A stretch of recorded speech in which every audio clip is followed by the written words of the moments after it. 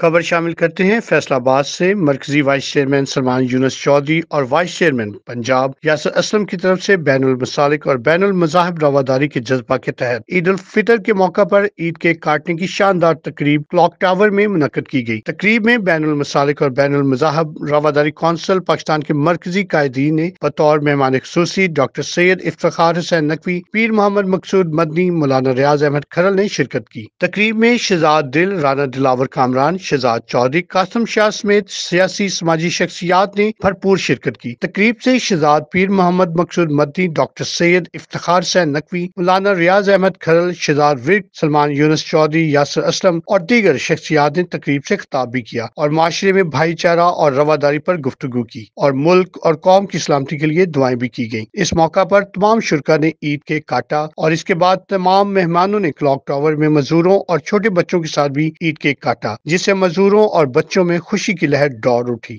شاندار تقریب کے اہتمام پر مرکزی وائس چیئرمین سلمان یونس چودھری اور وائس چیئرمین پنجاب یاسر اسلم کو مہمانوں نے مبارکباد پیش کی۔